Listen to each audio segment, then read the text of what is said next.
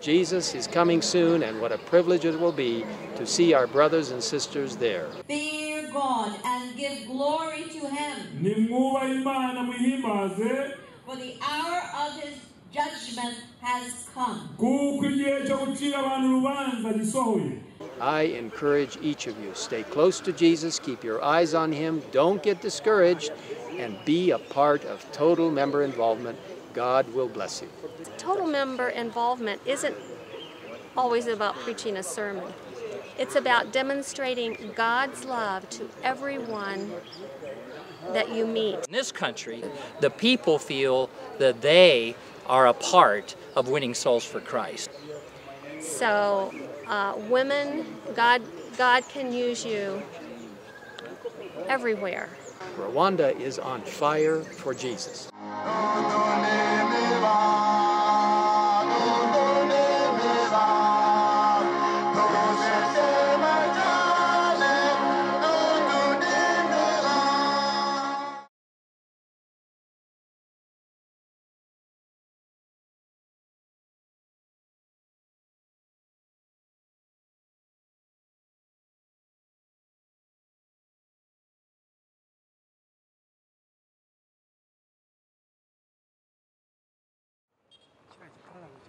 Umugoroba mwiza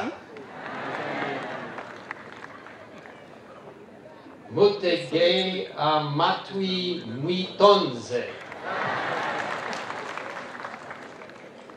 Tonight is a very important night.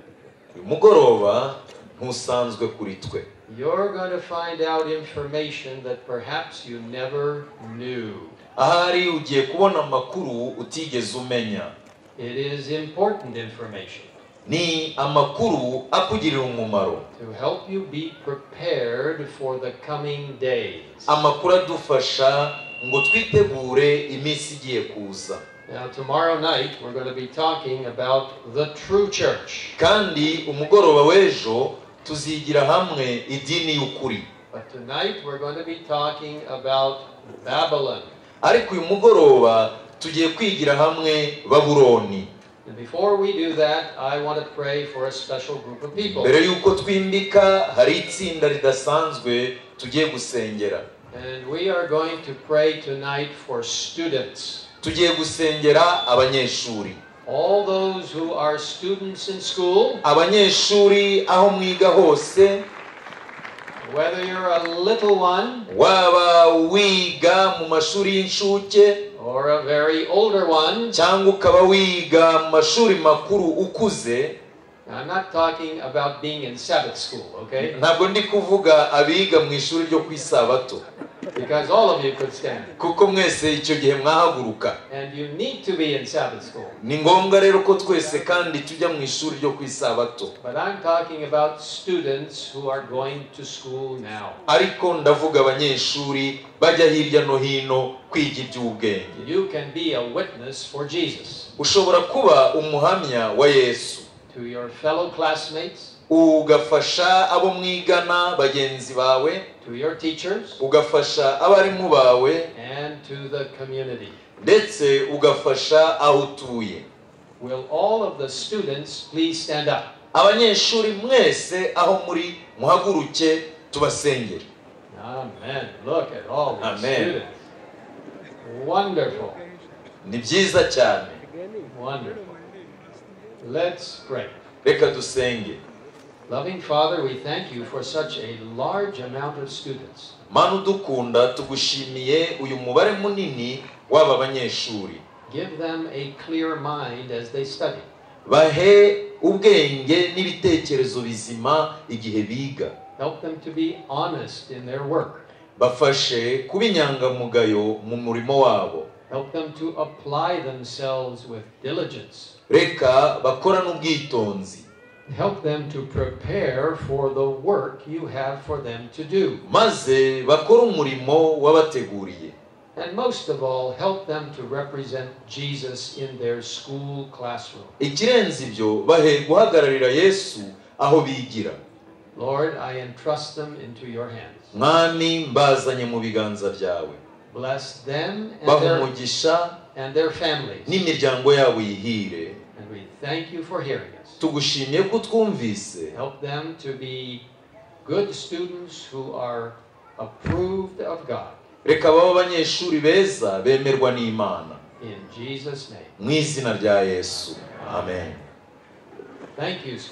Murakoze banyeshuri What a marvelous group you are. mbega itsinda ryanyu ngo riraba ryiza Now, tonight, we're going to talk about solving the mystery of spiritual Babylon. kuri uyu mugoroba tugiye kurebera hamwe ihamagara riheruka riri mu byahishuwe kandi ni uguhishura ibanga rya babuloni y'iby'umwuka book of Revelation describes two types of religion, two systems. igitabo cy'ibyahishuwe kidusobanurira uburyo bubiri bwo kuramya two ways of worship, inzira ebyiri zo kuramya two choices. amahitamo abiri yo kuramya I thought it was very interesting, now that I think about it, Dr. Saha showed a picture biteye ubwuzu cyane kuko ubwo nabitekerezagaho dr. Fesaha hari ishusho yaberetse. Igaragaza amahitamo.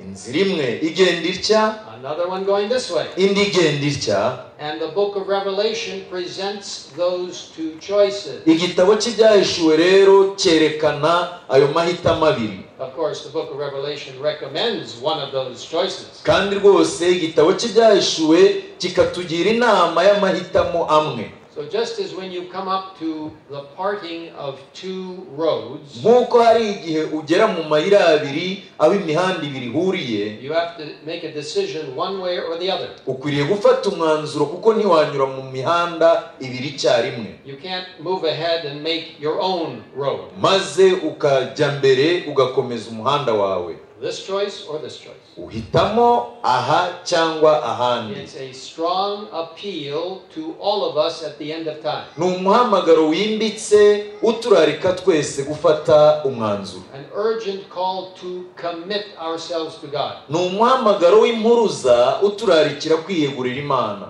Now, this appeal can be summarized with showing the symbolism of two women. noneho rero uyu muhamagaro uraza gusobanuka neza habayeho ibigereranyo by'abagore babiri The book of Revelation shows two women, and they symbolize two different systems. igitabo cy'ibyahishuwe cyerekana abagore babiri bahagarariye gahunda z'inyigisho ebyiri Now, in Revelation chapter 12, a woman in white is shown. mu byahishuwe igice cya cumi na kabiri tuhabona umugore wambaye imyambaro yera And throughout the book of Revelation, a pure woman symbolizes the bride of Jesus. kandi mu gitabo cy'ibyahishuwe igice cya cumi na kabiri uriya mugore utunganye ni ikimenyetso cy'umugeni wa yesu kirisito ari ryo torero rye The bride of Jesus is the true church. umugeni wa kirisito niryo torero ry'ukuri All right, Jeremiah 6, verse 2. yeremiya igice cya gatandatu umurongo wa kabiri I have likened the daughter of Zion to a lovely and delicate woman. umukobwa w'i Siyoni ufite uburanga bwiza wadamaraye ngiye kumuca So the daughter of Zion describes God's people. nuko rero uyu mukobwa w'i Siyoni agereranya abantu b'imana. God describes his people, the true church, imana ivuga itorero ryayo ry'ukuri irigereranyije n'umugore mwiza utunganye. In Ephesians chapter 5, mu banyefezi igice cya gatanu he likens Jesus to a faithful husband agereranya yesu n'umugabo w'indahemuka and his church as the bride. n'itorero rikagereranywa n'umugeni Now, in the 12th chapter of Revelation, noneho rero igice cya cumi na kabiri cy'ibyahishuwe there is this symbol of a woman dressed in white. kitwereka iyi shusho y'umugore wakenyeye cyangwa wambaye umweru She's faithful to her true lover, who is Jesus Christ. umugore udahemuka ku mugabo we w'ukuri ari we yesu kirisito She's not corrupted by false doctrines. ntiyigeze yiyandurisha inyigisho ziyobya She's described as Christ's bride agaragazwa nk'umugeni wa kirisito here on earth. hano ku isi Now, in Revelation 17, mu byahishuwe igice cya cumi na karindwi another woman arises. hari undi mugore eh, utunguka This woman rides on a scarlet covered beast. ni umugore wicaye ku nyamaswa itukura The Bible calls her a harlot woman. bibiliya imwita umugore w'abagabo benshi Yitandukanyije n'umukunzi we w'ukuri yesu kirisito niyo mpamvu yahindutse uwa benshi. Ubu ni uburyo bw'amatorero n'amadini yahakanye inzira y'ukuri. So you have one woman dressed in white, a pure, beautiful woman. hariya twabonye ishusho y'umugore ukiranuka w'indahemuka wambaye umwambaro wera ibishura byera. You have another woman who is seductively looking like a harlot and is riding on a scarlet beast. ku rundi ruhande twahabonye umugore wambaye imyambaro eh, idasanzwe wicaye ku nyamaswa itukura kandi utarindahemuka ku mugabo we. Two different systems, iyi gahunda z'inyigisho zihabanye two different kinds of churches. amadini abiri ahabanye Tonight we're going to look especially at this harlot woman of Revelation 17. kuri uyu mugoroba tugiye kureba kuri uyu mugore udasanzwe wo ku nyamaswa itukura yo mu byahishuwe igice cya cumi na karindwi That's why you need to listen very carefully. niyo mpamvu dukwiriye gutega amatwi twitonze. And you're going to see why it's so important about our special theme that we're using. kandi turamenya neza impamvu ibi ari ingenzi kubw'insanganyamatsiko yacu twakomeje kuganiraho. Niba kiri muri bibiliya ndacyizera niba kitemeranya n'ukuri kwa bibiliya ubwo si icyanjye. Now, even if the whole world follows a false understanding, nubwo isi yose yakurikira inyigisho ziyobya might be kind of hard now to say this. kandi zikaba abantu ba- bazikurikira. Because you may be you may be resisting against many people. Ushobora kutemera ibyo imbaga nyamwinshi bavuga ndetse ntiwemeranye n'imbaraga zo ku isi. Ariko niba dukwiriye gukurikira imana dukwiriye kwita ku cyo bibiliya ivuga.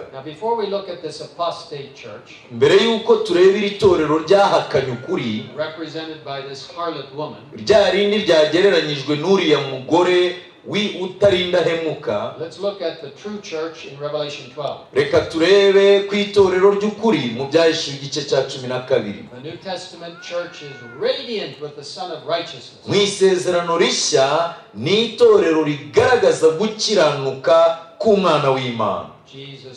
Yesu kirisito Christ is predominant in the life of the true church of Revelation 12. kirisito ni we ugaragazwa mu byahishuwe igice cya cumi na kabiri nk'uyoboye ririya torero ry'ukuri.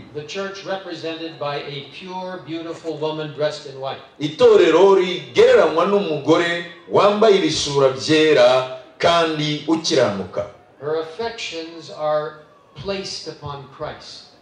Urukundo rwe rwose rushingiye kuri kirisito umutima we wiringira kirisito gusa. Now, the New Testament church in Revelation 12 isezerano rishya iri torero ryaho mu byahishuwe igice cya cumi na kabiri rigereranywa cyangwa rigaragazwa nk'umugeni ukwiriye wa kirisito ntubyibagirwe. But the picture changes in Revelation 17, verse 1. nyamara bihinduka ukundi iyo bigeze mu byahishuwe igice cya cumi na karindwi The harlot woman comes onto the scene in contrast with this one. uriya mugore w'inzaduka aravumbuka atandukanye cyane by'ihabya n'iri torero ry'ukuri So you have the true church of God, nuko rero ufite itorero ry'ukuri ry'imana you have a false ukagira no kuramya kw'ikinyoma guhagarariwe n'umugore w'inzaduka. Reka dusome. Revelation 17, verses 1 and 2. byahishuwe igice cya cumi na karindwi umurongo wa mbere n'uwa kabiri. Then one of the seven angels who had seven bowls came and talked with me, saying to me, Come, ngwino nkwereke iteka maraya ukomeye waters, wicara ku mazi menshi. ni we abami bo mu isi basambanaga nawe. Abari mu isi bagasinda inzoga ari zo busambanyi bwe. So, a harlot is a woman who has left her true lover. uyu maraya ni uwasize umugabo we w'ukuri So we're starting to paint the picture of a fallen church, not the true church. twatangiye kugaragaza ishusho y'idini yaguye si idini y'ukuri This woman has walked away from the true lover, Jesus Christ. umugore watandukanye n'umugabo we w'ukuri ari we yesu kirisito The Bible says she sits on many waters. bibiliya iravuga ngo yicara ku mazi menshi Now, 15th verse of Revelation 17. umurongo wa cumi na gatanu w'ibyahishuwe igice cya cumi na karindwi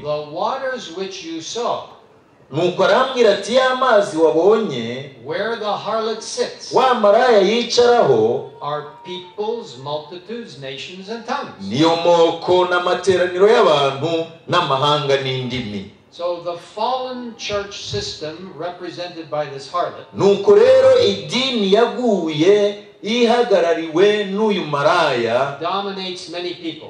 Rifite abayoboke ishyano ryose. Kandi bibiri irakomeza. With whom the kings of the earth have committed uwo fornication. ni we abami bo mu isi basambanaga nawe ubu busambanyi buvugwa ni iki? Uh, ni uguhura kutemewe n'amategeko kw'ikinyoma. Ni ubumwe butemewe n'amategeko. Mu itorero ryaguye itorero ryifatanyije na leta. Naho mu itorero ry'ukuri itorero rifatanye na yesu kirisito The fallen church looks to the kings and the political leaders of this earth. iri torero ryaguye ryitabaza abami bo mu isi n'abayobozi ba politiki n'abafite ububasha ku isi The fallen church looks for its power from earthly kings. idini ryaguye iyo rishaka ububasha ribukomora ku bikomerezwa byo mu isi.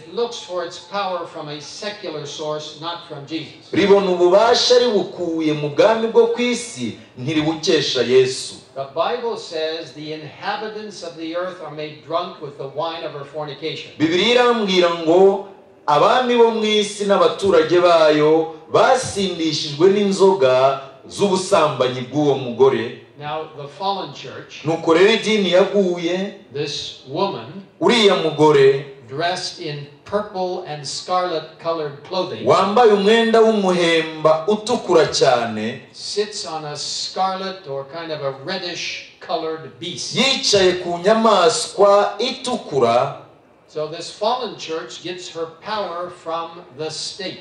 iri torero ryaguye rihabwa imbaraga na za leta zo ku isi But she also influences the state to support her falsehood. nyamara iri dini rinafite ububasha muri leta kugira ngo leta irifashe gushora imizi She passes around her wine cup of false doctrines. uyu mugore agenda asogongeza inzoga ari zo nyigisho zipfuye ku batuye isi bose And the world becomes drunk or intoxicated with error. maze isi igasindishwa n'ikinyoma Millions drink of this wine of Babylon. miliyoni z'abantu benshi banywa kuri iyi nzoga ya and they are deceived. Maze bakayoba rwose.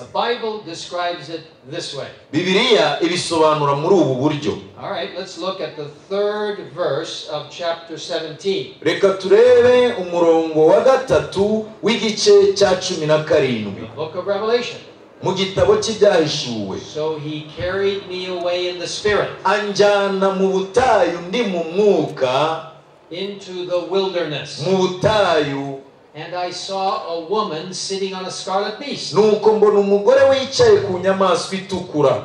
which was full of names of blasphemy, yuzuye amazina yo gutuka imana. Having seven heads and ten horns. yari afite imitwe irindwi n'amahembe cumi.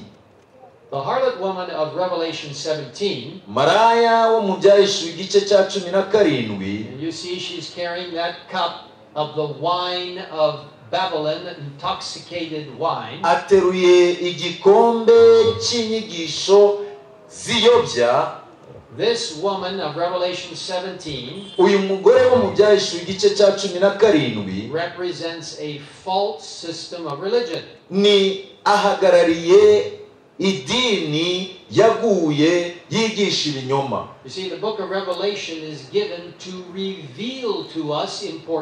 Igitabo important twagiherewe nyine ngo kiduhishurire iby'ingenzi bikomeye.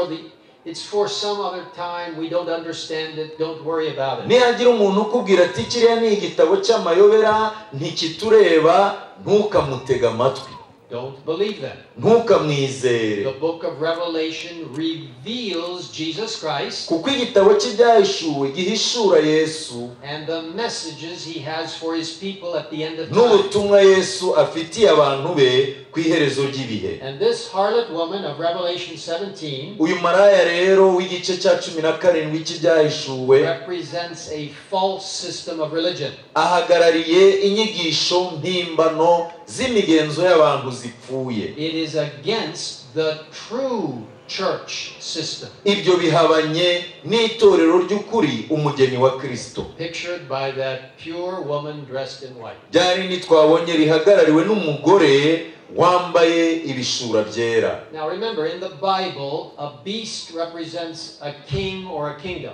ibuka mu byahishuwe inyamaswa igereranya ubwami cyangwa ubutegetsi. So the woman who represents a corrupt church ni ukuri uriya mugore ugaragaza idini yanduye derives her power from the state, akomora ububasha bwe muri leta which is represented by the beast, kuko ariyo leta ihagarariwe n'inyamaswa.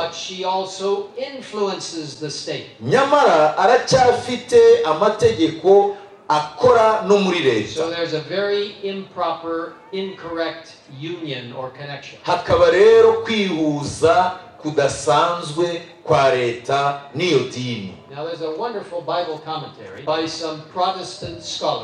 Hari amagambo ah, n'amagambo yanditswe na bamwe bahugutse mu baporotesitanti which comments on Revelation 17. basobanura ku byahishuwe igice cya cumi na birindwi. On page 593 in English of this ku commentary, rupapuro rwa magana atanu na mirongo cyenda n'eshatu mu cyongereza umwanditsi abisobanura muri aya magambo. State and church are precious gifts of God. leta ni- n'itorero ni impano nziza imana yatanze But the state being desecrated or becoming impure ariko leta yononekaye cyangwa yanduye becomes beast like. ihinduka nk'inyamaswa The church apostatizes, nuko rero itorero ryahakanye imana rigahinduka maraya. Now let's look at verse 4 in chapter 17. turebe umurongo wa kane w'igice cya cumi na karindwi. Uwo mugore cyangwa iryo torero ryaguye yari yambaye umwenda w'umuhengeri n'uw'umuhemba yari arimbishijwe n'izahabu n'amabuye y'igiciro cyinshi. Now, what are the colors that God uses to describe this fallen system of religion? ni ayahe mabara bibiri ikoresha kugira ngo idusobanurire idini yataye imana Scarlet and purple. umuhemba n'umuhengeri. Do you know of a religious system whose priests mbese mwaba muzi idini aho abayobozi baryo bambara imyenda y'umuhemba? Reka dukomeze. Yari afite mu kiganza cye igikombe cy'izahabu. Mu ntoki ze afite igikombe kinini cy'izahabu. N'iki kiri muri icyo gikombe? Inyigisho ziyobya ibizira n'imyanda y'ubusambanyi bwe In other words, in the hand of this fallen system, whose colors are purple and scarlet, there is a wine cup. Harimo igikombe cyuzuye inzoga And all the world drinks out of this cup. isi yose igasogongera kuri iyo nzoga And they become confused and drunk with false doctrine. nuko bagasinda inyigisho z'ibinyoma bakaba mu rujijo Now, where is the headquarters of this system? none se iri iri dini cyangwa iyi gahunda ibiro byayo birihe Revelation 17 again. igice cya cumi na karindwi nanone This is the chapter we're focusing on. Nicyo gice turi kwiga kuri uyu mugoroba. About this false system of religion. Tuvuga kuri iyi dini yaguye. Represented by this scarlet with purple and, and igereranywa n'uyu mumaraya ufite igikombe wambaye umuhemba n'umuhengeri. The woman with scarlet and purple. Wa mugore wambaye imyenda y'umuhemba n'umuhengeri itukura cyane. Verse 9. umurongo wa cyenda. Ibi birasaba ubwenge n'ubuhanga.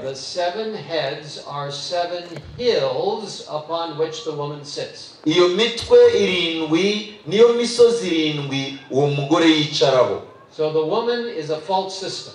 uwo mugore ni uhagarariye gahunda z'idini zipfuye.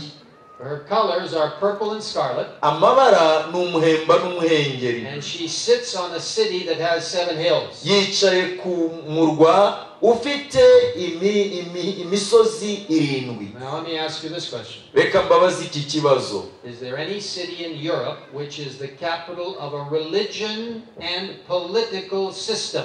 mbese haba hari umujyi mu burayi uhagarariye leta n'idini icyarimwe. Reka dukomeze turebe.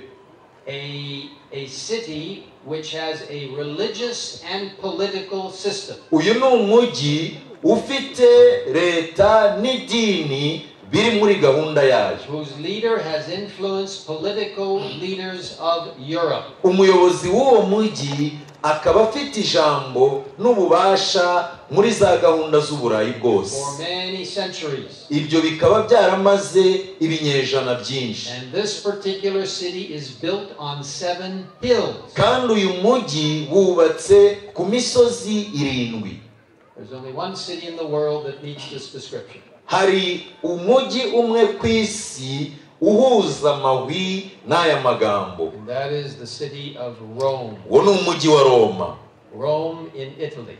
Roma yo mu butaliyani. Reka rero turebe uko dukomeza gusoma.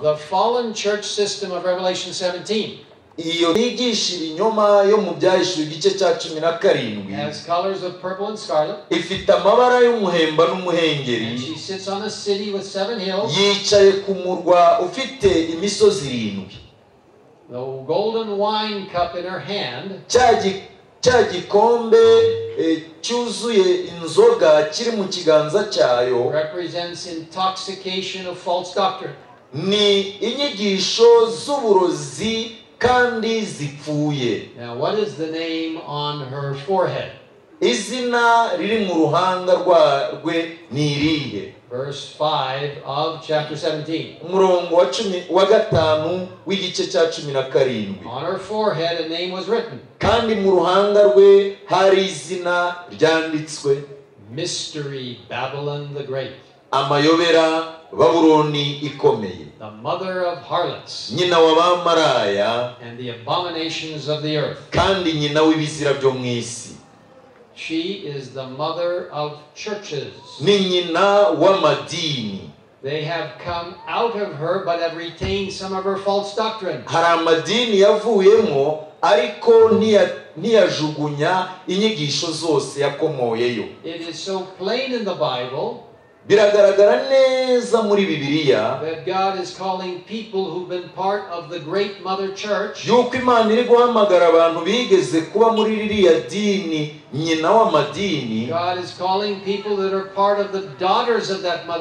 Imana irahamagara abakobwa buriya maraya the Protestant daughters. abaporotesitanti cyangwa abo bakobwa He's calling them from the errors that have slipped into the church imana irabahamagarira kuva mu binyoma byacengeye mu itorero from paganism.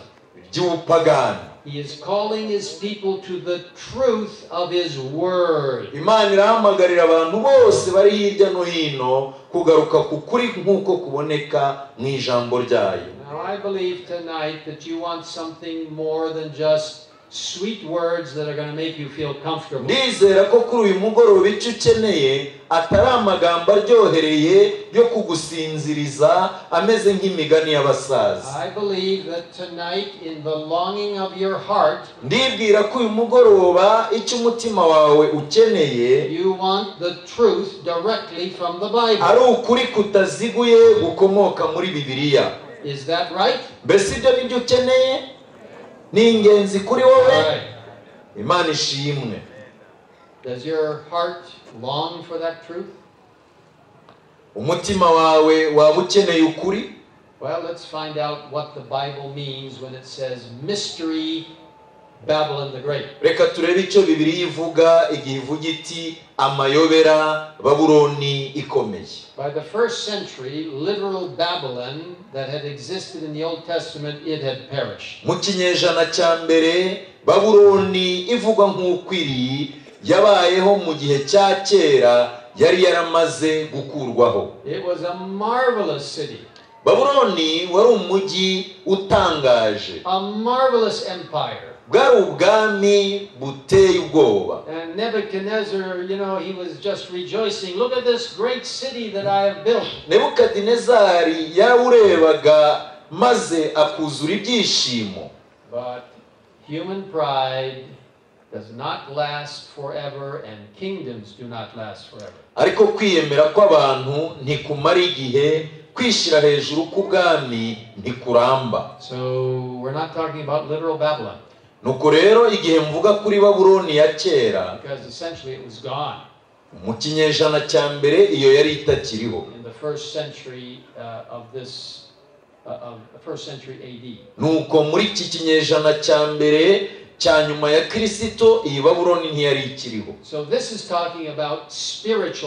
Nuko rero turaganira uyu mugoroba kuri babuloni yo mu by'umwuka. Turavuga kuri itorero ryitandukanyije n'inyigisho y'ukuri ya bibiliya. It's talking about a departure from Bible religion. turavuga ku idini yasezeye ku kuri kwa bibiliya. False doctrines would come into the church through false religious system called Babylon. inyigisho z'ibinyoma zacengeye mu itorero zinyujijwe mu idini yitwa babuloni Now understand this. tega amatwi wumve ibi These false doctrines would come in and would be approved by the church but not by God. izi nyigisho z'ibinyoma zinjijwe mu idini idini rirazemera ariko imana ntiyazemeye John 17, verse 17. yohani igice cya cumi na karindwi umurongo wa cumi na karindwi Sanctify them by your truth. ubereshe ukuri Your word is truth. ijambo ryawe ni ukuri So, what does sanctify mean? none se kweza bivuga iki means to set it apart. bivuga gushyira ku ruhande God says, I'm calling my people from false doctrine imana iratangaza iti ndahamagarira abantu banjye kuva mu nyigisho ziyobya false doctrines of Babylon inyigisho ziyobya za babuloni to the truth of my maze bakinjira mu kuri kw'ijambo ry'imana. In the Old Testament, mu isezerano rya kera. Vuba rwose nyuma y'umwuzure. Hari itsinda ry'abagore n'abagabo. Oh, bagomeye imana. Maze bubaka umunara muremure. umunara waje kumenyekana nk'umunara w'ababeli bashakaga kubaka ikintu imana itazabasha gusenya ikoresheje umwuzure. Nuko imana ibona ko bakomeje kongera umurava. Bikunda. Kandi buzuye kwiyemera. Imana iramanuka. Maze isobanya indimi zabo. Kugira nuko byagenze. Genesis 11, verse 9.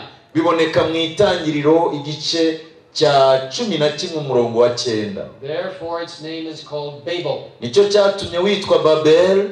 Because there the Lord confused the language of all the earth. kuko ariho uwiteka yahinduriye ururimi rwabo mu isi bose They were building this tower in defiance of God. bari bari kugerageza kubaka umunara kugira ngo bahangane n'imana God confused their languages. imana isobanya indimi zabo The workmen couldn't understand what the other was saying. nuko igihe bubakaga nta n'umwe wumvaga icyo undi It avuze became so confusing bagwa mu kantu bajya mu rujijo nuko ako kanya umurimo wo ku munara ukomwa mu nkokora urahagarara. Nyuma uyu mudugudu wa babuloni waje kubakwa muri icyo kibanza cyariho umunara w'i babuloni. Nutekereza kuri babuloni bisobanura urudubi urujijo uruvangitirane. So in religion, mu itorero when religion accepts man's ideas and not God's ideas, iyo itorero ritangiye kwemera ibitekerezo by'abantu aho gushyigikira iby'imana. that religion becomes confused. iryo torero cyangwa iyo dini ihinduka akaduruvayo. It, it, it makes no sense because it's not from God. ntabwo riba rigifite agaciro kuko riba ridaturutse ku mana. Iyo itorero ryigisha ukuri kw'imana ntiribe rivangavanga abantu rivuga amagambo adasobanutse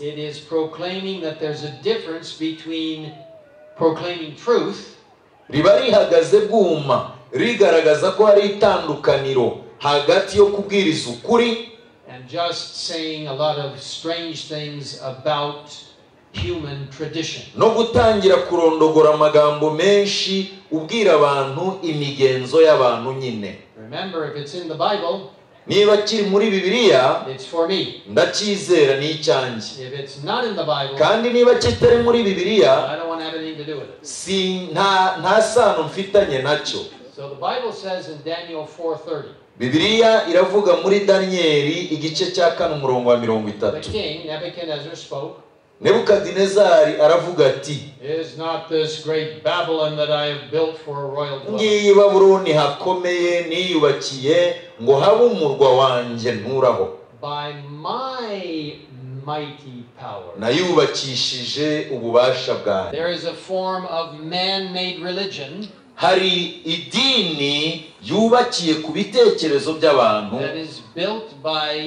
brilliant human religious leaders, yubatswe rwose n'abahanga mu by'idini b'abayobozi. but it stands in opposition to the Word of God. Nyamara iyo dini igahagarara irwanya ukuri kw'ijambo ry'imana. And the precious church that Jesus built. kandi ikanyuranya rwose n'itorero ry'ukuri yesu ubwe yubatse. Jesus said in Matthew 16 18, muri mata y'igice cya cumi na gatandatu umurongo wa cumi n'umunani.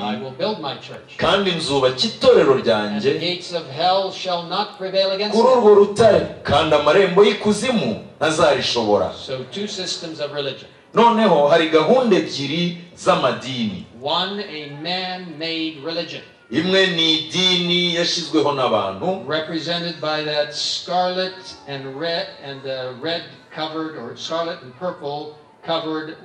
ihagarariwe na maraya wambaye imyenda itukura y'umuhengeri n'umuhemba. Hakaba n'itorero imana ubwayo yishyiriyeho represented by that pure woman who is focused on God. rya rindi rihagarariwe n'umugore wambaye ibishura byera utumbira ku mana yonyine. That focuses on God is built on Jesus Christ. iryo torero rihanze amaso imana umuremyi ni itorero ryigisha inyigisho za yesu Jesus is calling us from all human systems of religion. yesu araduhamagarira kuva mu nyigisho mpimbano z'abantu He's calling us back to the Bible. akaduhamagara ngo tugaruke muri bibiliya Loyalty to Him, twongere tumubere indahemuka dukiranukira ijambo rye. Itorero rya yesu kirisitu ntabwo ryashyizweho n'abantu. Ni itorero yesu kirisitu ubwe yishyiriyeho. Colossians 1:18. abanyekorosi igice cya mbere umurongo wa cumi n'umunani.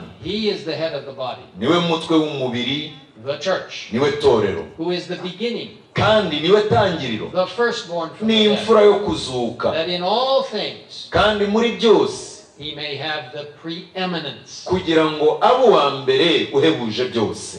Jesus Christ is the real foundation of the true church. yesu kirisito ni we musingi w'ukuri w'itorero ry'ukuri. Somebody has said it this way. Umuntu umwe yabisobanuye muri aya magambo. The true church of God itorero ry'ukuri ry'imana. Niwo muryango wonyine wagutse ku buryo umubiri wawo uri ku isi umutwe wawo waryo ukaba mu ijuru. Bitewe n'uko umutwe w'itorero ari yesu kirisito A leader in the church here on earth. nejejwe no kuba umwe mu bayobozi b'itorero ry'imana hano ku isi But I am not the head of the church. ariko sindi umutwe w'iryo torero oya The head of the church is Jesus Christ. umutwe w'itorero ni yesu kirisito Now, what about mystery, Babylon the Great? none se aya mayobera ya babuloni ikomeye yo ni iki Spiritual Babylon babuloni yo mu by'umwuka would have a leader izaba ifite umuyobozi. who claimed that his word uvuga ko ijambo rye had the authority and power rifite ububasha n'ubushobozi. when speaking from his throne igihe yicaye ku ntebe ye ya cyami nyine avuge ko afite ububasha nk'ubw'imana yo mu ijuru. Nuko rero ikimenyetso cya mbere spiritual Babylon kigasobanura babuloni yo mu by'umwuka. head nuko rifite umutwe ku isi. uwo mutwe ukavugira imana kandi ukavuga mu cyimbo cy'imana. Ariko rero hari ikimenyetso cya kabiri cyo gusobanura iyi babuloni. Babuloni yari izingiro ryo kuramya ibishushanyo. Mu isezerano rya kera. We can never understand the impact of Revelation 17 ntidushobora kumva neza ibyahishuwe igice cya cumi na karindwi and the words mystery Babylon the Great. ngo twumve ririya jambo amayobera babuloni ikomeye. Unless we understand the Old Testament. Keretse twumvise neza babuloni yo mu isezerano rya kera. Babuloni yari indiri yo gusenga ibishushanyo. You see, Christ invites us to come directly to Him through prayer. kirisita turarikira kumusanga ku buryo butaziguye nta muntu tunyuzeho mu masengesho We don't need to go through images to ntabwo dukeneye kunyura mu bimenyetso n'ibishushanyo ngo bitugeze kuri yesu We don't need to go through priests to get to Jesus. ntabwo dukeneye abatambyi cyangwa abayobozi mu by'idini ngo ari bo batugeza kuri yesu We don't need to go through saints to get to Jesus. ntabwo dukeneye abatagatifu ngo tubambaze batugeze kuri yesu Jesus says, Come directly to me. kuko yesu yavuze ati ni urugi Jesus is our intercessor. yesu ni we wenyine utuvuganira Jesus is our priest. yesu ni umutambyi wacu mukuru The beautiful teaching of the New Testament is that grace is free. icyigisho cyiza cyane kiboneka mu isezerano rishya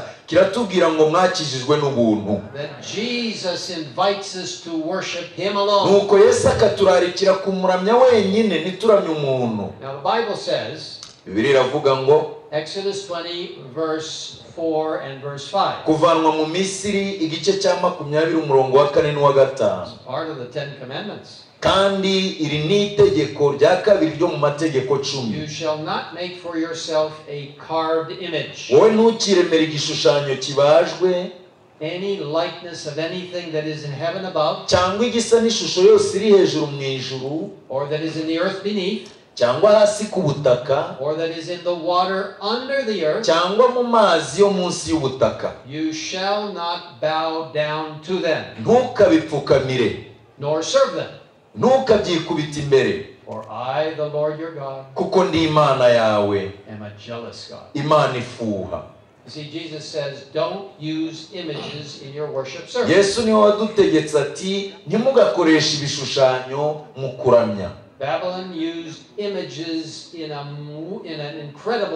Babuloni ikoresha ibishushanyo mu buryo bwayo bwo kuramya. Many of those images found their way from paganism to Rome. ibyo bishushanyo bikomoka mu bupagani byinjijwe i roma and into the Christian church. nuko biragenda biracengera byinjira mu itorero rya And gikristo these images are called sacred today. kandi ibi bishushanyo babigize ibishushanyo bitagatifu bakavuga bati birera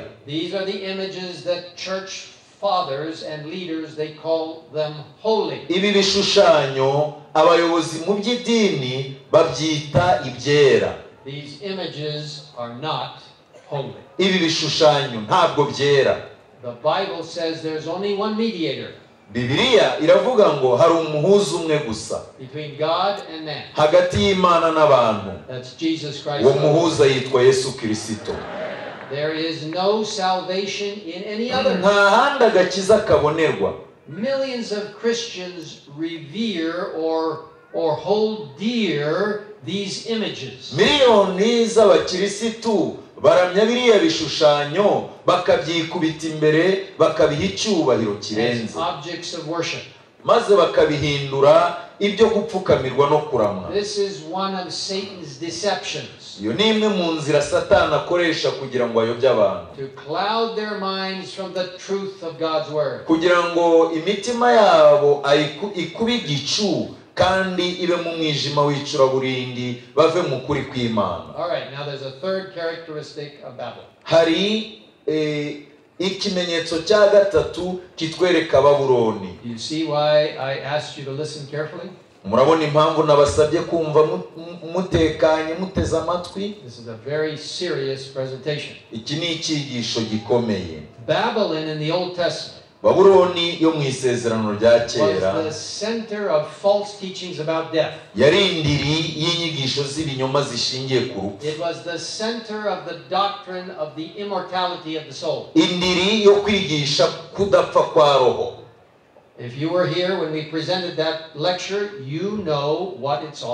Niba wari uri hano igihe twigishije ibi bintu uzi neza ibyo turi kuvuga. The idea that the dead live on, and this idea that when you die there's an immortal soul, bya bitekerezo n'imigenzo bivuga ko iyo upfuye hari ahandi unyarukira cyangwa se roho ntinapfe.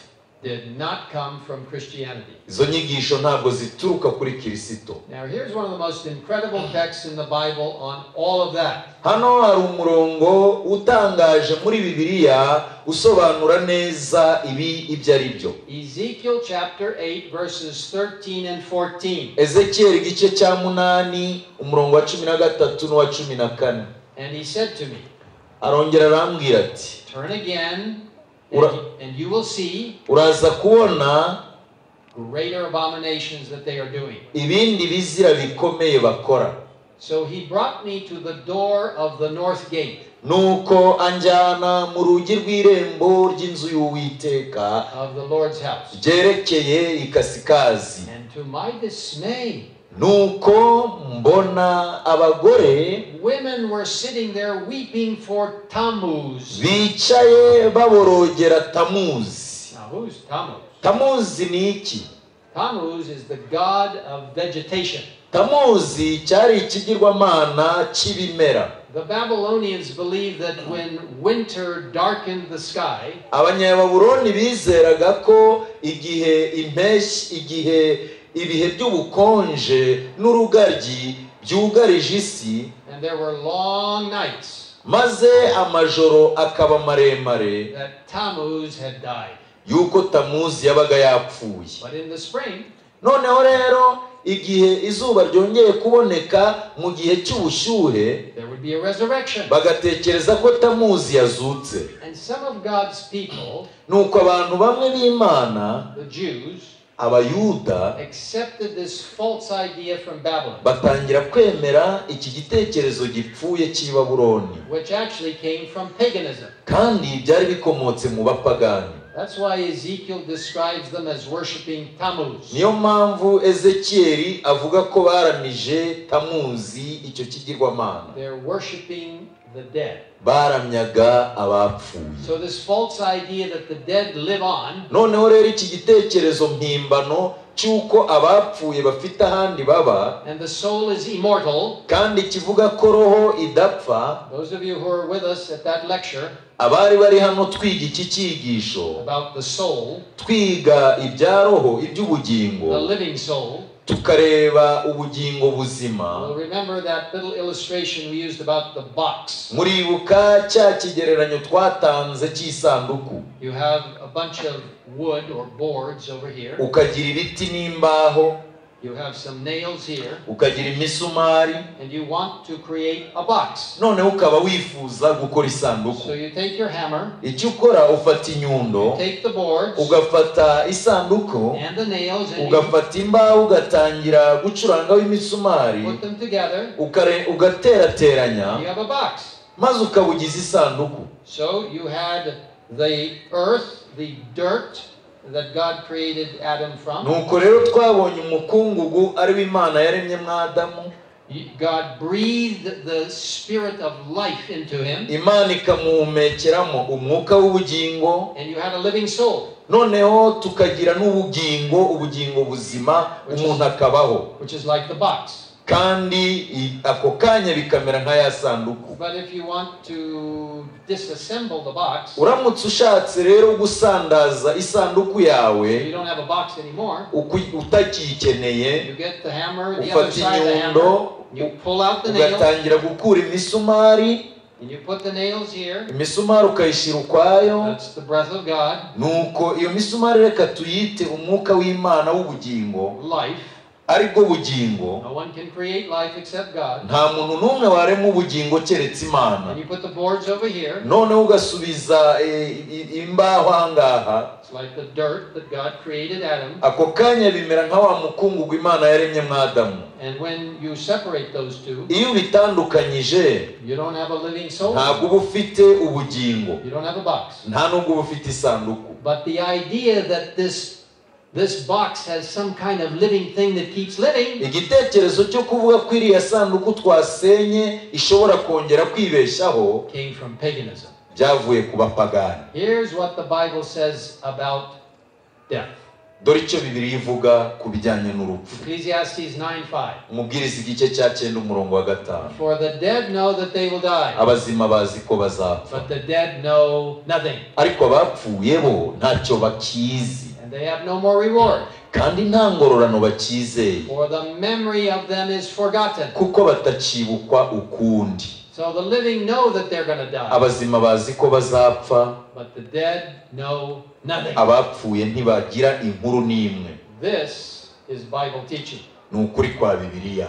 What did Satan say to Eve in the Garden of Eden? ni satani yabwiye adamu na eva mu busitani bw'edeni Oh, you won't die. yarababwiye ati oh ntabwo muzapfa You're immortal. mwebwe ntabwo mushobora gupfa So the idea of the immortality of the soul, igitekerezo cyigisha kudapfa kwa roho of worshiping the dead, igitekerezo cyo kuramya abapfuye about bowing before images that represent the dead, igitekerezo cyo gupfukamira ibishushanyo bihagarariye abapfuye. That idea of the immortality of the soul icyo gitekerezo kivuga ngo roho ntipfa. gave way to the pagan doctrine cyinjiye kizanye inyigisho zipfuye. of bringing offerings for the dead. zikomoka ku bapagani zitegeka abantu gutura amaturo abapfuye It gave way to the Christian doctrine of saints that are supposed to be hovering around. nuko abakirisito bamwe batangira kwizera abatagatifu ngo abatagatifu baba batembera babasabira You see, the idea of immortality of the soul igitekerezo cy'uko roho idapfa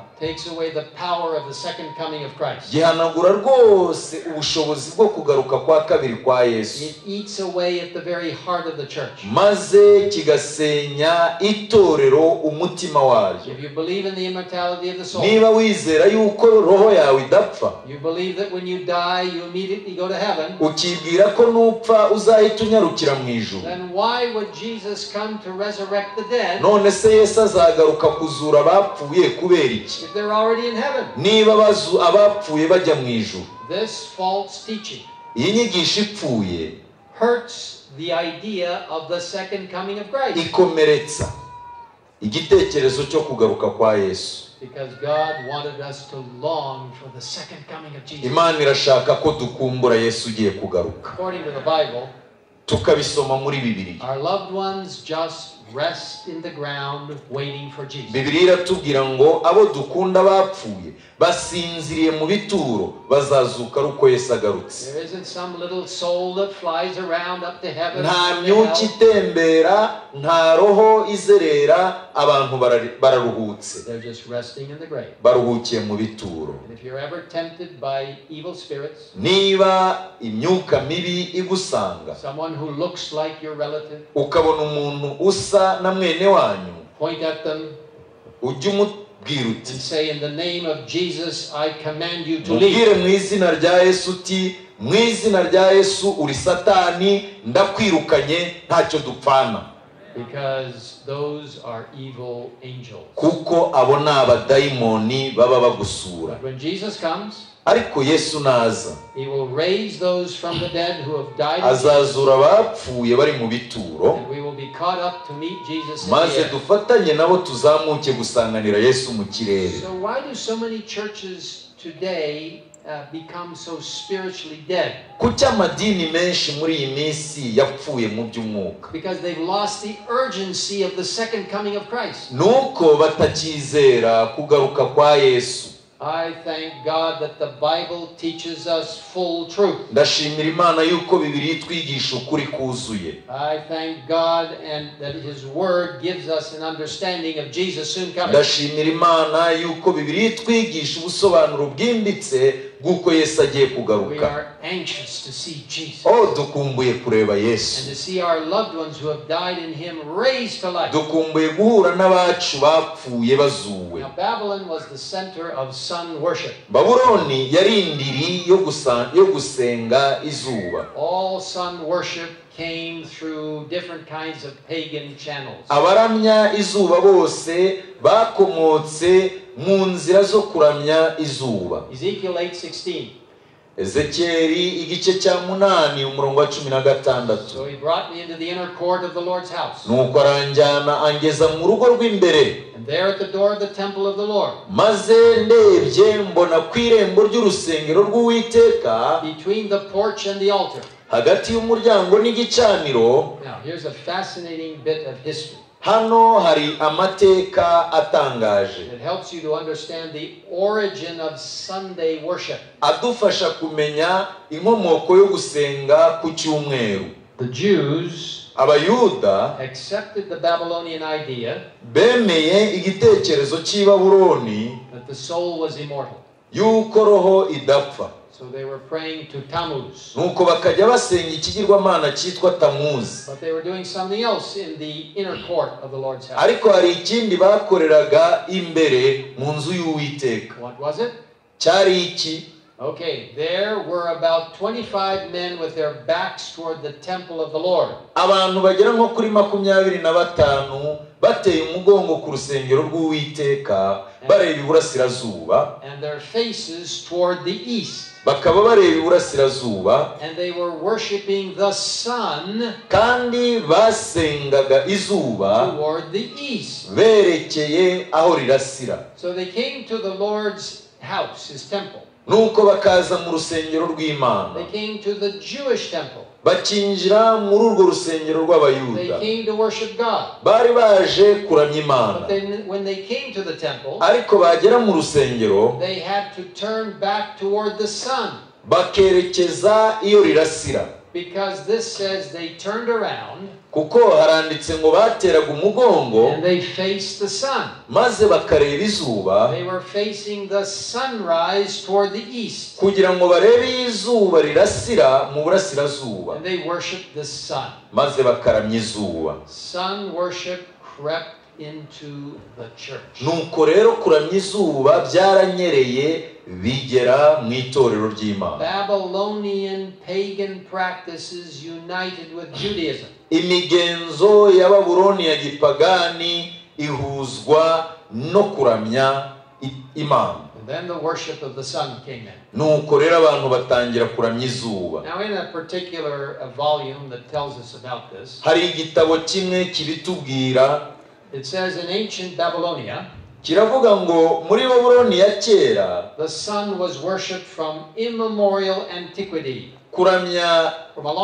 kuramya izuba byakorwaga mu bihe by'imyaka ishize kera. Baramyaga izuba kandi izuba ryari muri gahunda yo kuramya. Nuko rero biratangaje kubona ibyabaga mu itorero ryo hambere. Mu gitabo cyitwa babuloni zombi dusoma aya magambo. To conciliate or kind of bring together the pagans to nominal Christianity, kuremekanya kugira ngo bahuze abapagani n'abakirisitu. Rome, pursuing its usual policy, roma ishaka gukurikirana umugambi wayo. took measures to get the Christian and pagan festivals yafashe amabwiriza maze ihuza imihango ya gikristo n'iya gipagani. Nuko irabivangavanga.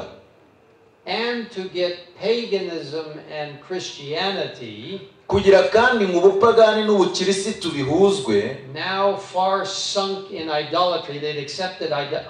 nuko byinjira mu kuramya ibigirwamana. Ibi bigenda bitya nk'uko byabaye no mu bindi byinshi maze bahuza ibiganza rwose. Mu yandi magambo baravanga. Ubukirisitu n'ubupagani rero biracudika. Icyumweru umunsi wa mbere gihinduka umuyoboro mwiza wo guhuza ubupagani n'ubukirisitu Now, do you understand what God was saying in Revelation 17? ese murakibuka icyo imana ivuga mu byahishuwe igice cya cumi na karindwi He's saying that many false doctrines would come into the church. avuga ngo inyigisho nyinshi z'ibinyoma zizinjira mu itorero He's saying the great mother church drifted away from the truth of the Bible. haravuga ngo wa nyina w'amadini yatandukanye n'ukuri kwa bibiliya kwanditswe The only one who can speak powerfully, ushobora kuvugana ububasha wenyine ntakore ikosa cyangwa icyaha. Ni yesu kirisito noneho itorero ryubakiye ku gitekerezo cy'uko abantu hari ibyo bakora ngo bahabwe agakiza icyo wakora ikintu wakwishyura kugira ngo uhabwe agakiza that's not the church I want to belong to. ntabwo iryo dini nshaka kuribamo A church based on the idea of worshiping images. Idini yubakiye ku gitekerezo cyo kuramya ibishushanyo It's not a church I want to belong to. ntabwo nshaka kukurarikira kuba muri iryo dini church based on the idea that the soul is immortal. idini ryigisha abantu ko ubugingo budapfa na roho igakomeza That's kuzerera not a church I want to belong to. iryo ntabwo ari idini nabamo It's not in accordance with the Bible. ntabwo ari idini bibiri inyereka None of those things are. nta namwe bibiri y'ibihamya A church that is based on the idea of worshiping on Sunday. idini ivuga ko dukwiriye kuruhuka ku munsi wa mbere You w'icyumweru won't find that in the Bible. nta nta biri muri bibiliya Sinshaka kwemera idini nk'iyo ahari ijambo rikomeye cyane ryasobanura ibi ni iri ngiri.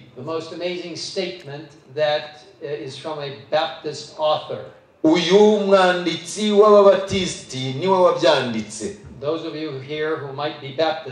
Ababa barara mu babatisita iri jambo riteye ubwuzu. Ni mu- gitabo cyitwa eh, icy'ababatisite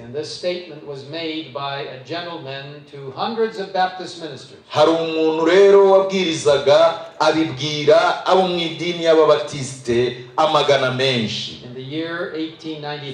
In the year 1893, yabivuze mu cya magana inani mirongo cyenda na gatatu.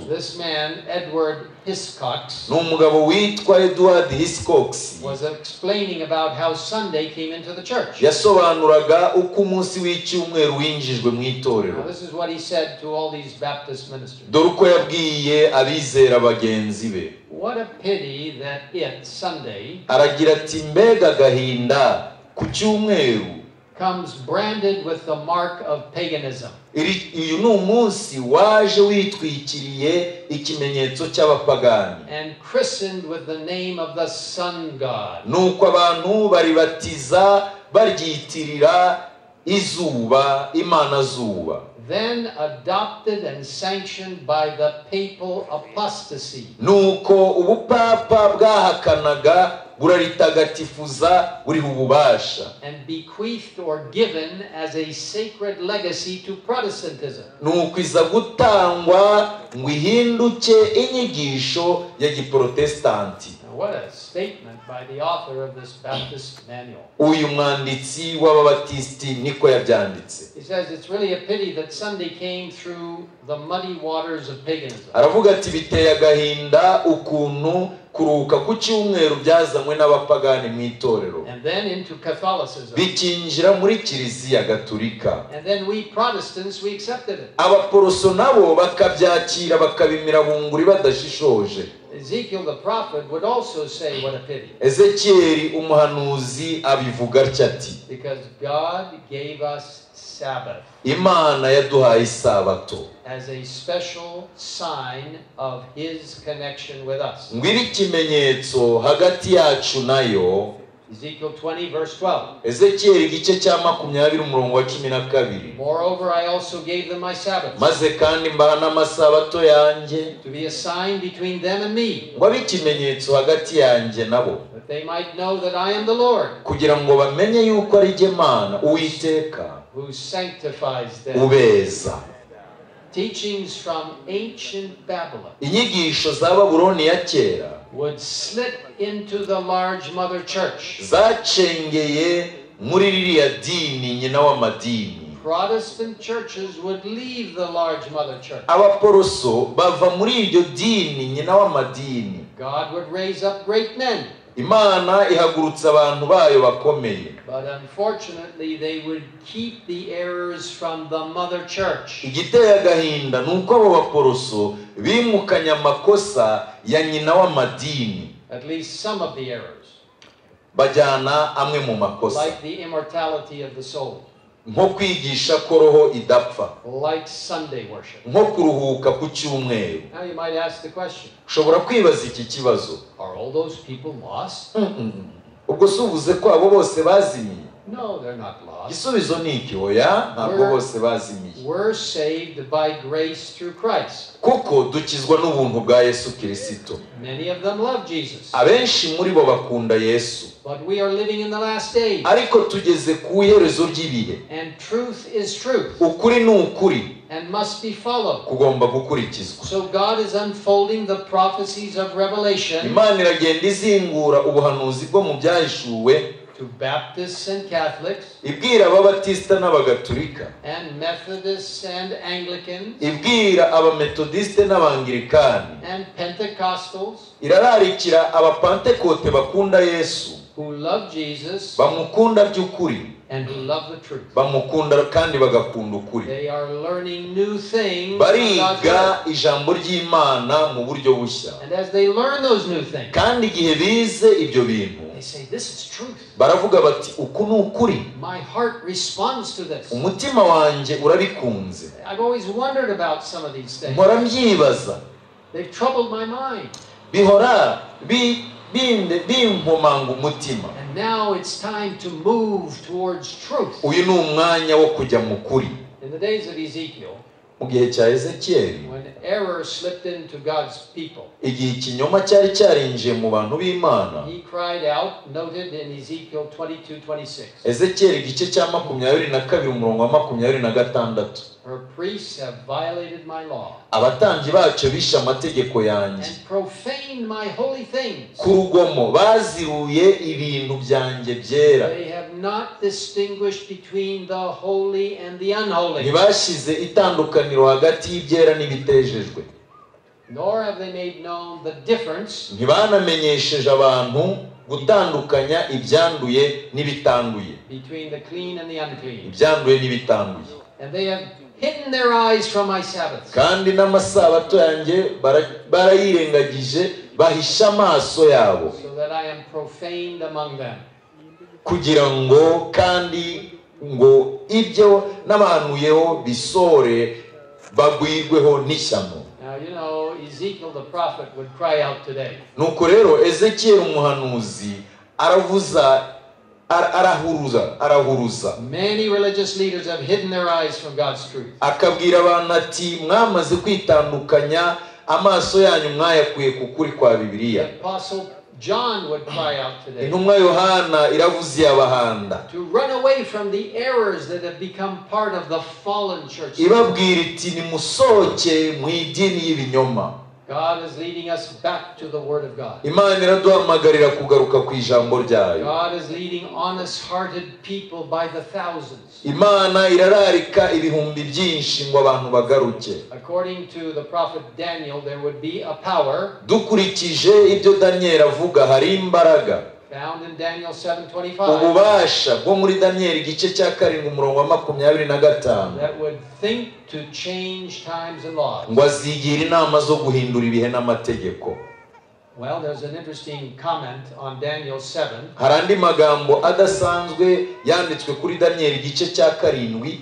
About man's attempt to change God's law. uburyo umwana w'umuntu yashatse guhindura amategeko y'imana And you find it here from the author George Eliot. uwitwa george eliot yandika atya ati What is proposed to make an erasure in the heaven born code? ni ibiki abantu bashaka gukora kugira ngo icyo bahanagura mu mategeko yakomotse mu ijuru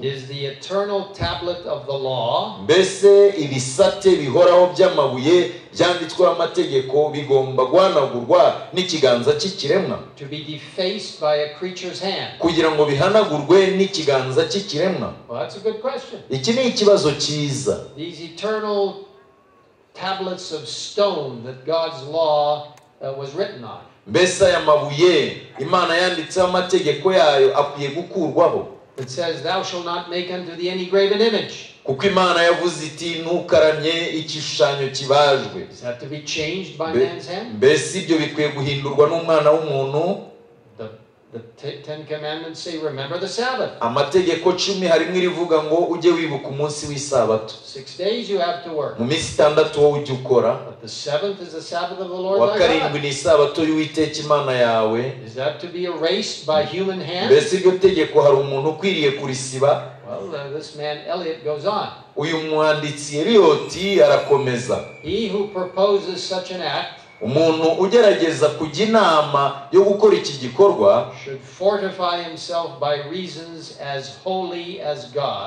akatanga impamvu zikomeye yibwira ko nawe ari imana kandi akibwira ko abifitiye ububasha. Ndababwira abantu muri hano ku gisenyi. Nta dini yo ku isi. Has the authority to change God's law or his word. ifite ububasha bwo guhindura amategeko y'imana cyangwa ijambo ryayo I want to tell you ndagira ngo mbabwire that preachers should get back to preaching from the Bible. yuko ababwiriza bakwiriye kuva mu migenzo bakabwiriza bibiliya and flee away from the harlot woman. bagahunga rwose ibinyoma God is calling us to preach directly from the Bible, imana iraturarikira kubwiriza bibiliya yonyine. Calling us to preach the truth of the Bible. imana iratubwira kubwiriza ukuri nk'uko kuri muri bibiliya. God is gathering a group of people imana irateranyiriza hamwe abantu bayo. Abantu bemera yuko kirisito ari umwe mu bugingo bwabo. Itsinda ryemera ko ushobora gusanga imana ku buryo butaziguye. Ukaba udakwiriye kunyura mu bishushanyo. Ni itsinda ry'abantu biteguye gusanganira yesu. Ntabwo bemera namba igitekerezo cy'uko roho idapfa. Umukwe umugeni wa kirisitu arahamagarirwa kuruhuka isabato y'ukuri.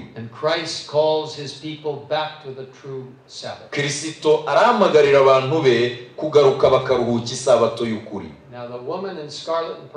Wa mugore wambaye umuhemba n'umuhengeri wicaye ku nyamaswa itukura agenda asogongeza inyigisho z'ubuyobe n'uburozi abantu benshi. Uriya mugore ntabwo ahamanya n'ukuri kwa bibiliya. Amadini menshi yamaze kwemera izo nyigisho. Ariko imana iraduhamagara. Revelation 8 2. Byahishuwe igice cya cumi n'umunani umurongo wa kabiri. Arangurura ijwi rirenga ati iraguye iraguye babuloni ikomeye. Ni idini yamaze guhunga ijambo ry'imana. Verse 4 of that chapter. umurongo wa kane w'igice cya cumi n'umunani. Nuko irindi jwi rivugira mu ijuru riti bwoko bwanjye nimuwusohokemo. Lest you share in her sins, kugira ngo mudafatanya n'ibyaha byawo. Mwe guhabwa no ku byago people? none se aba bantu b'imana bari he? Well, they are in churches that don't understand these beautiful truths. banyanyagiye mu madini atumva uku kuri. Most of God's people today, abantu b'imana benshi uyu munsi. loving Christians of every religious persuasion, abakirisitu bakunda imana mu madini anyuranye are in churches that God calls Babylon. bari mu madini imana ubwayo yita babuloni. So, what does God say to his people? None se imana irababwira ngo iki? Who are in those churches? bari muri aya madini. Come out lest you share in her sin, bwoko bwanjye nimusohokemo mudahabwa ku byago byawo. Lest you receive of her plagues. maze mugahabwa ku byago byawo. Icyaha ni iki? Transgression of God's law. icyaha ni ukugomera no kwica itegeko ry'imana So God says, My people, I love you. imana iravuga iti bantu banjye ndabakunda You've been drinking out of that intoxicating false mumaze religious iminsi idea. munywa inzoga y'inyigisho z'ibinyoma za babuloni You've been drinking the wine of Babylon. mwagerageje kunywa kuri iyo nzoga ya You're babuloni confused by the wine of Babylon. babuloni yabateye urujijo But I want to tell you, God's truth can bring you out of ariko that ukuri kw'imana intoxication. gushobora kugukurayo He can give you truth in your heart. imana yiteguye gushyira ukuri mu mutima wawe. Reka turebe aya magambo. Mu idini yose yahakanye ukuri kw'ijambo ry'imana hari abantu b'imana bagaragarayo mu itorero ritagaragara ry'imana. ariko niba bashaka gukizwa bakwiye gusohoka muri babuloni. You see, in Revelation 18, verse 4, mu byahishuwe cumi n'umunani umurongo wa kane says, Come out of her, my people, haravuga ngo bwoko bwanjye nimusohokemo lest you share in her sin. kugira ngo mudafatanya n'ibyaha byabo You say, I've been looking for truth. ukavuga uti maze iminsi nshaka ukuri I haven't been satisfied. ndi umushakashatsi sinashimishijwe n'uko mbayeho you may be thinking, I, I once walked with God's people, ukavuga uti ndashaka gusanga abantu b'imana but I drifted away, ariko natandukanye nabo and I've never been happy. Kandi sinanejejwe na byo something empty inside of me. hari ikintu muri njye kigaragaza ko mfite ubukene. Maze iminsi nshaka ikintu cy'ingenzi. Kandi muri ibi byigisho wagiye ubona ukuri kwirema. Ndatekereza ko imana ariyo yakuzanye hano. Ndatekereza ko imana yakugiriye ibambe. Ushobora kuba uri umugabo ukaba uri wenyine. Ushobora kuba uri umugore uri wenyine. Ushobora kuba ari wowe wenyine rukumbi mu muryango wawe. Imana iraguhamagara. Niyo yakuzanye hano. Iguhamagaza urukundo n'impuhwe. Yesu arakubwira ati sohokamo muntu wanjye.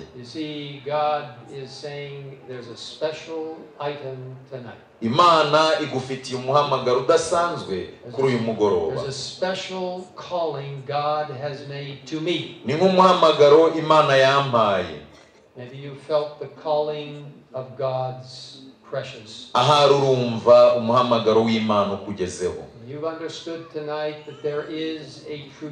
Ukaba umaze kumenya kuri uyu mugoroba ko hari idini y'ukuri.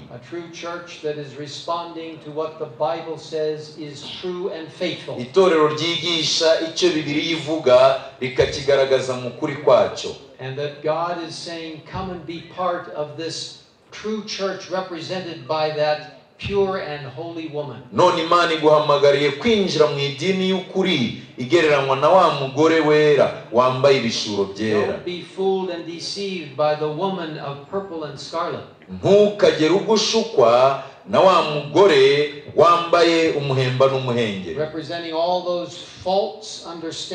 kuko ahagarariye ibinyigisho z'ibinyoma. Come out of her, my people. nimusohokemo bwoko bwanjye. Join God's pure remnant church. mwinjire mu itorero ry'imana ry'ukuri ryasigaye. How many of you tonight ni bangahe kuri uyu mugoroba? bashaka gushimira imana. for the beautiful, wonderful truth we have? yuko yabahaye ukuri gusobanutse kwiza. Mbese mwahaguruka ku birenge byanyu Amen. amen. You want to say to Jesus tonight, mbese ukwiriye kubwira yesu kuri uyu mugoroba? Ukamubwira uti yesu ndakwemeye n'ukuri kwawe kose. Ndashaka kwinjira mu ishuri rya bibiliya. Ndashaka kwigira umubatizo. Nk'uko yesu yabatijwe yibijwe.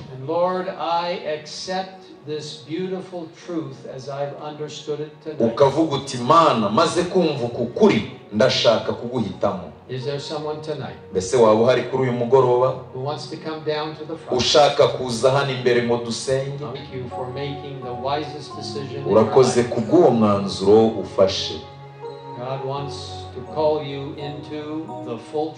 Imana irashaka ko winjira mu kuri nyako.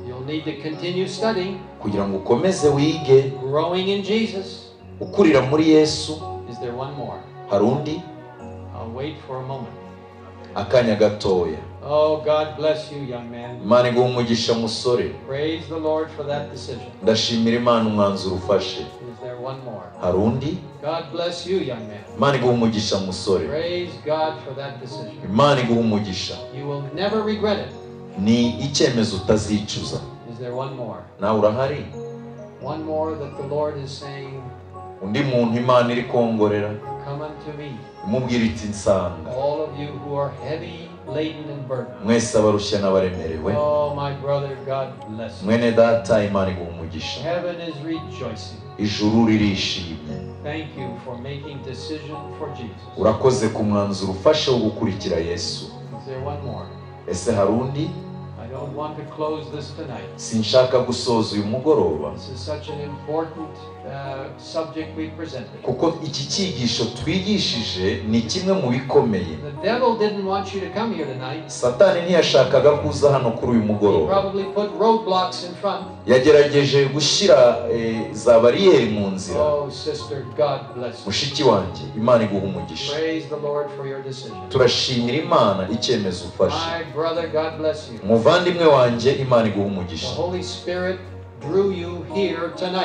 Umwuka wera ni we wakuzanye hano uyu mugoroba. And the Holy Spirit overtook anything that the devil put in front of you. umwuka wera ni we ugenda asenya insika zibuza abantu b'imana kuyisanga niba uri hano kuri uyu mugoroba. ni uko umwuka w'imana yakuzanye Oh, my dear young young friend, God bless you. mwene data urakoze? Mushiki wanjye urakoze? Mushiki wanjye uhetse umwana imana iguha umugisha. Oh, what a wonderful group we have here tonight. mbega itsinda ryiza dufite hano kuri uyu mugoroba All of heaven is rejoicing. ijuru ryishimanye natwe God bless you, young man. imana iguha umugisha musore Oh, my heart is happy tonight. umutima wanjye unejejwe n'ibyo mbonye kuri uyu mugoroba Holy Spirit has spoken to you kuko umwuka w'imana yavuganye nawe and helped you to see the full truth as it is in Jesus. kandi ngo ubone ukuri gushyitse kuri muri yesu Is there one more? nawe urahari happy for these decisions. tunejejwe n'ibyemezo abantu b'imana bafashe Now, tonight we've talked about those two church systems. kuri uyu mugoroba twavuze aya madini abiri We spent a lot of time on the false church system. tumaze umwanya munini tuganira ku idini ipfuye But God has a church, ariko imana ifite itorero a true church. itorero ry'ukuri tomorrow night we're going to be talking about the true church. ejo nimugoroba uzaze twige itorero ry'ukuri Those in the audience who haven't quite made their decision, abari mu iteraniro batarafata icyemezo you must come tomorrow. ejo ntuzasibe Don't let anything ntukagire ikintu na kimwe kikubuza kuza ejo. Ejo nimugoroba kubw'ubuntu bw'imana uzasobanukirwa n'ukuri kwa bibiliya. Reka dusenge. Data uri mu ijuru. Urakoze ku bw'aba bantu bawe bageze hano kuri uyu mugoroba. We praise your name for touching their hearts. izina ryawe rihabwa ikuzo kuko wakoze ku mitima yabo.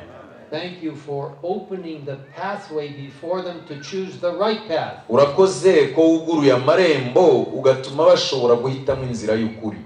Lord, help us all. None mana dufashe twese. To remember that there is a true church, tumenye ko hari itorero ry'ukuri.